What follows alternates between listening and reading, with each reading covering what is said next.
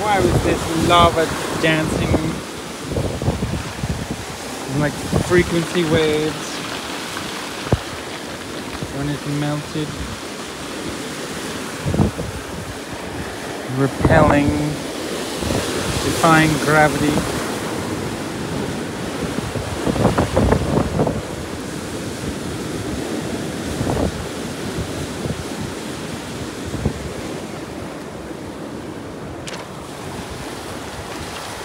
Somehow all these rocks are just screaming WTF.